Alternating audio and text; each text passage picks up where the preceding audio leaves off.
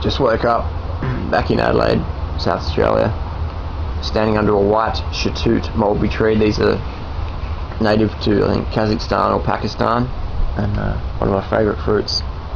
Check it out. They're like a, a white mulberry man, so sweet. Mm. Yeah, we spend a lot of time under these trees, feasting. I've got a new bicycle. It's made out of bamboo. Every bicycle rider, every raw rider should have a raw bicycle. Check it out.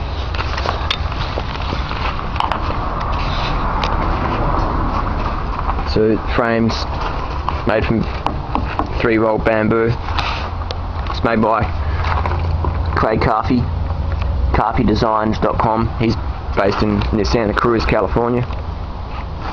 It's joined with hemp fibre and epoxy. And uh, this is my standard race setup. I just just take off the bag here.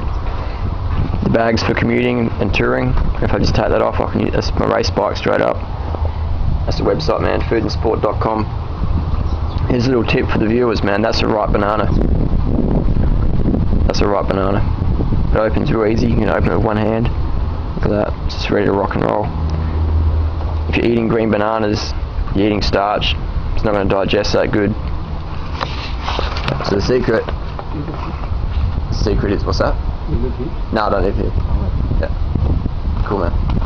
And uh, the secret is to eat bananas when they're really spotty. So you're getting maximum sugar, so you're getting maximum satiation, satisfaction. So you can eat 20 bananas and you're not getting a meal of starch, getting a meal of sugar. So fuel your muscles and the simple fuel that they need, fructose and glucose, that being.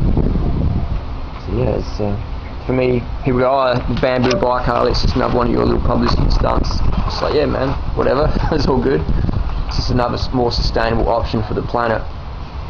And we can look at those ways every day to, you know, find ways we can be more sustainable. Like, I've got my wallet made out of an old soy container I found on the side of the road. And, uh, when we're part we're part of the solutions that are part of the problem, we'll feel like our life has more purpose. You know, you, you want to be part of the solution every moment and every day, in every way, and that's going to give you, you know, a sense of your life counts for something, rather than just being caught up in the flurry of society and getting, you know, taken away in, in the current affairs of nonsense and meaningless distractions. So if you want to create purpose in your life, you know, sit down and, and say, how can I contribute more to the planet? How can I contribute more to myself? How can I contribute more to the animals and welfare for the animals? You know, look at ways we can support our organic farmers, things like that. It's going to give you, you know, a sense that your your life does count, rather than oh, I'm I'm worthless and I can't make a difference because I don't I'm only one person. And, you know, I just I don't have any energy. And I don't have much money, and I'm just that's that sort of attitude ain't going to get you nowhere, man. That's like that's the kindergarten toddler, you know, high fructose corn syrup cordial drinking attitude, man. It's it's time we dissolve that with massive raw abundance and extreme acts of physical endurance.